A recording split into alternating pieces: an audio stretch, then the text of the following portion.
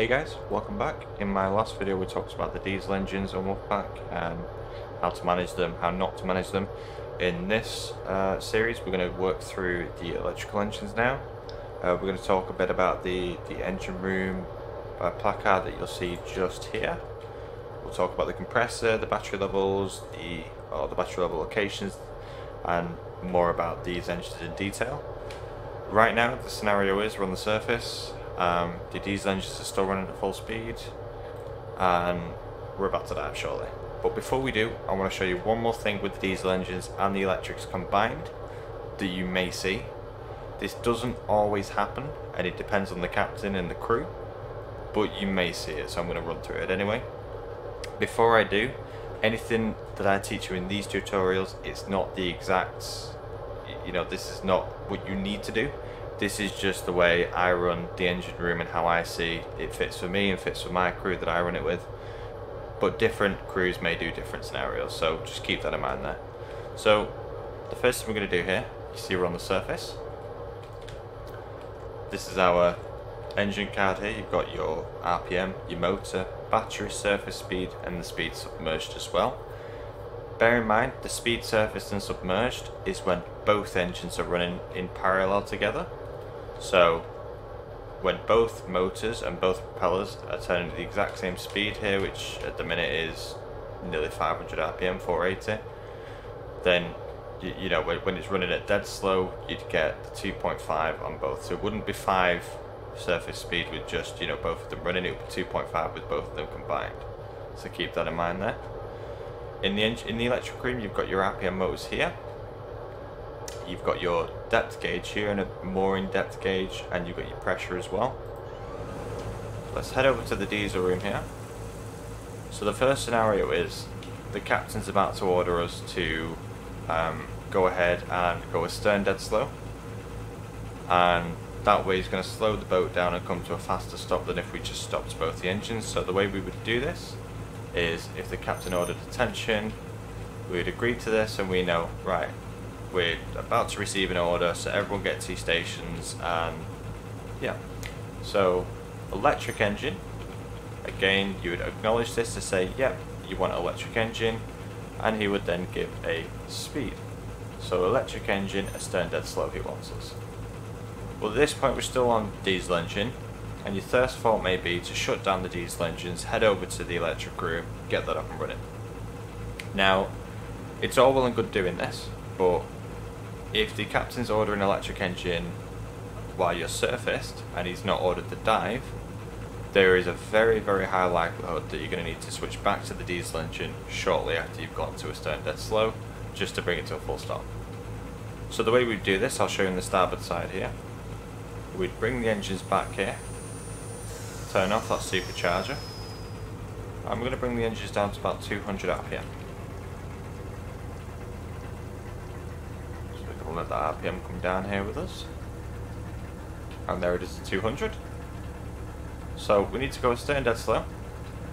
And what we're going to do now is disengage this and immediately you'll hear this engine spool back to life again.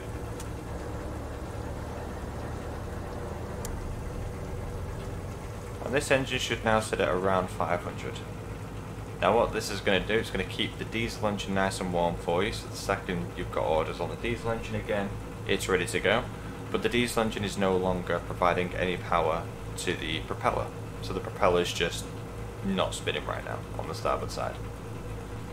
So what we're going to do now is head over to the electric room and then you turn it into a stern and you'd go dead slow and that I'll talk about very shortly.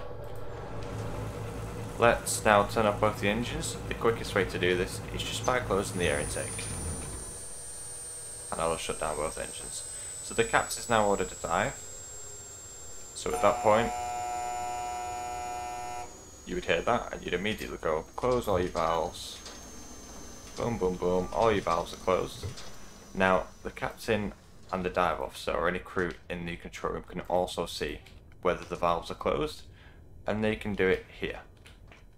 So this tells them whether the diesel room's ready, the e-motors room's ready and all the valves are closed. So here's all your valves that I've just switched off. And the dive officer will obviously be able to see that they're all closed and he'll start the dive now. So the dive officer's now going to start the dive. Always get confused on which one it is. So periscope depth now. The dive officer area I'll talk about in, a, in another video as well. Gonna close the rooms. And we're going to decouple this one as well. So both engines are now decoupled.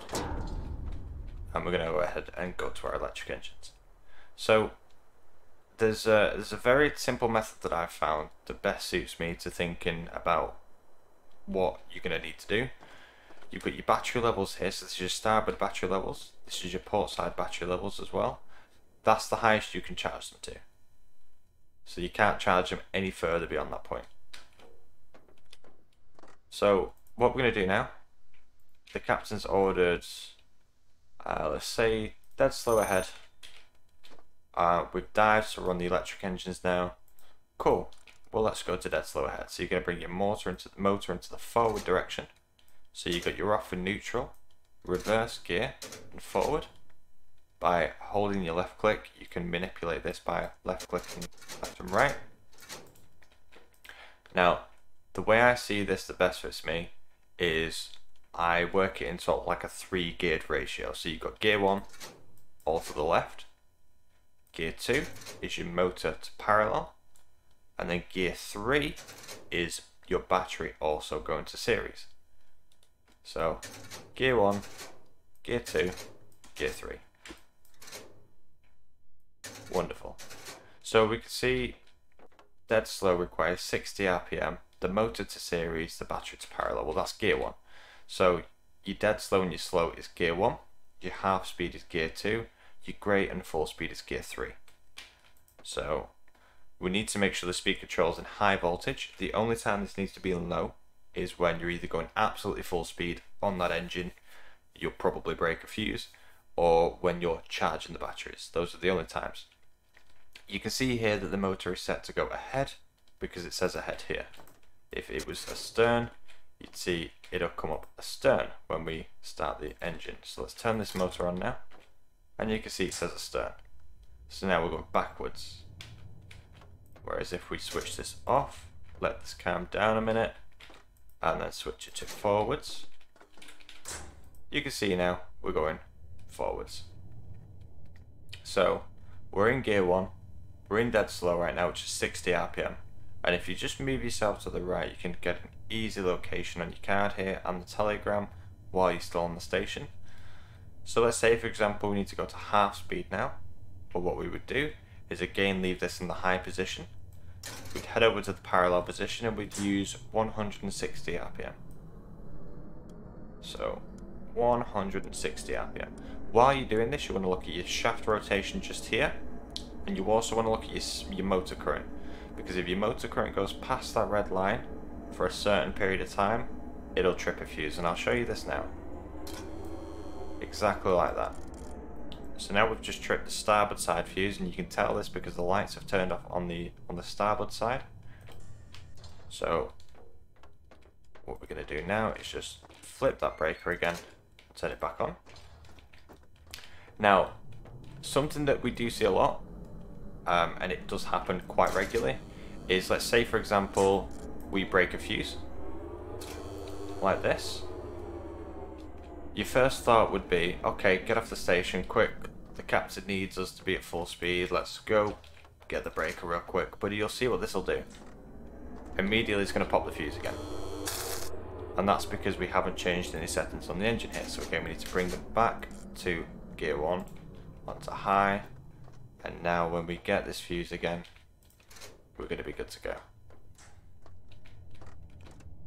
As seen here. So, let's say for example we need to go to full speed ahead from when we're on slow speed. Well, what you're going to do is bring this over to parallel. Oh, no, we need to bring that up first before we go into parallel because I only had 60 RPM. As soon as we switched it, um, yeah, it, it tripped it. It's like a like a clutch. You've got to think of it like a clutch, if you will. So head back into here again.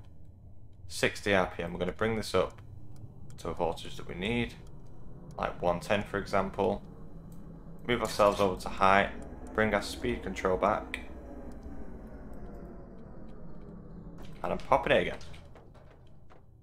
So what we're gonna do, we're gonna do it on the port side because I've ruined that fuse on the starboard side. That's why it's popping. So let's let's go ahead and get this quickly set up. So power on, forward on the motor, and let's bring this into dead slow. That's great. We're now in dead slow. So again, up we go. I'm gonna bring it up more. And again, we're just watching the motor current here as well, and we've ordered full speed, so let's order full speed real quick. And you'll see on your, on your card here, full speed is 300. So again, we're going to flick this more now. And we're going to uh, flick it all the way right, there we go. And we're to go up to 300 RPM. So we're at 220 now, continuing up and you'll see the more we go up to 300 RPM, the closer that motor current is going to get to the red, so you need to really watch out when you get to the higher revs here. And now we're at full speed ahead. Now you can actually get 309 RPMs out of this engine. We're on the red now, so if I brought this up just slightly more, that's about the max you can do there. Any further and you'll pop the fuse, like that. So again, we're going to get the fuse. Like so.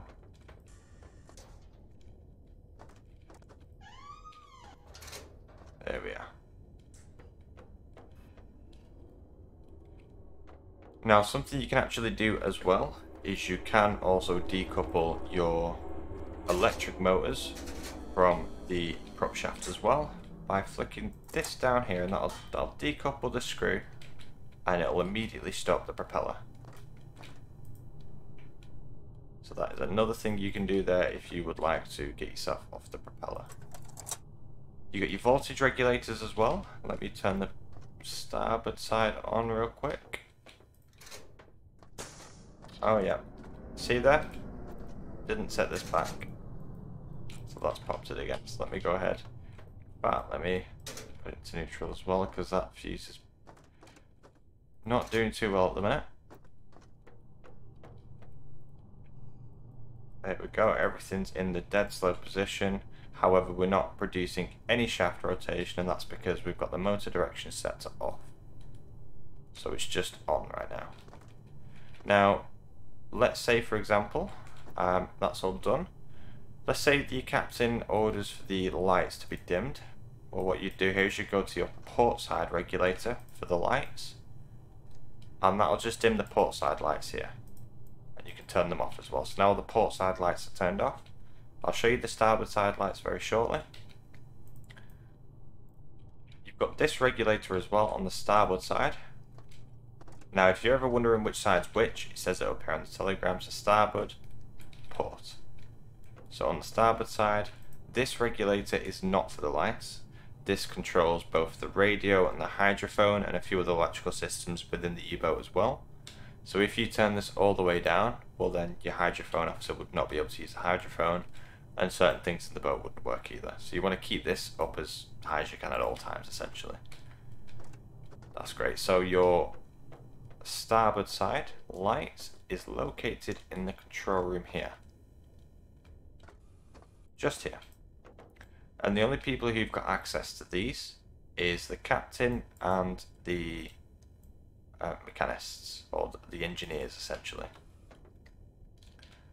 The next thing we're going to talk about now is the compressor.